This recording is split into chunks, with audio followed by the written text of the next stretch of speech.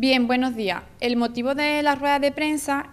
es para anunciar que este pasado 13 de septiembre convocamos un pleno extraordinario, un pleno donde se debatió y se aprobó por unanimidad una propuesta presentada por la Delegación de Hacienda, de la cual me encuentro al frente, y es un segundo pleno que tenemos con motivo de adherirnos al Fondo de Ordenación para las entidades locales que ofrece el Ministerio de Hacienda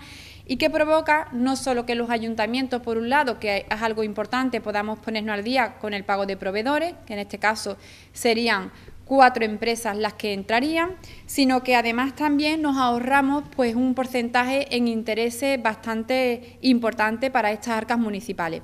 Por recordar, hace poco, hace escasamente unos meses, firmábamos con el director de una entidad financiera, de Unicaja aquí en Chipiona, pues esa adhesión al Fondo de Ordenación para ponernos al corriente con la deuda de la Seguridad Social, donde nos ahorrábamos más de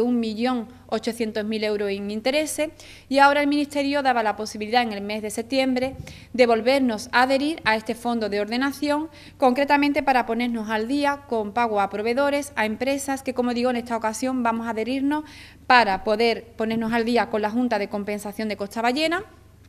con la UTE, que es la empresa de la recogida de residuos sólidos urbanos, que la conforman eh, dos, dos empresas, esta UTE, con Aqualia, que también tiene el ayuntamiento una deuda importante, y con la empresa de biorreciclaje.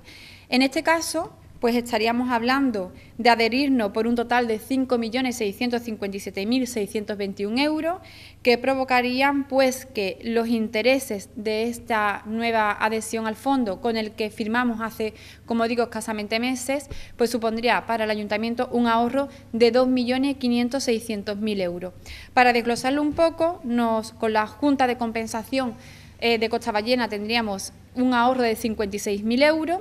con la UTE tendríamos un ahorro de 206.000 euros en intereses, con FCC Aqualia un ahorro de más de 270.000 euros y con bioreciclaje un ahorro de más de 140.000 euros. Si a esto le sumamos el ahorro, como digo, con esa refinanciación de la deuda de la Seguridad Social, que fue 1.841.000 euros, pues ahí tenemos un ahorro para este ayuntamiento en estos años, en esta legislatura, de más de 2 millones y medio de euros. Esto, a la vez también, pues provoca que nos pongamos más al día con, eh, con, el periodo medio de pago. Y el ponernos más al día con el periodo medio de pago supone también para el ayuntamiento que podamos pues, entrar en más ayudas que da el Gobierno central.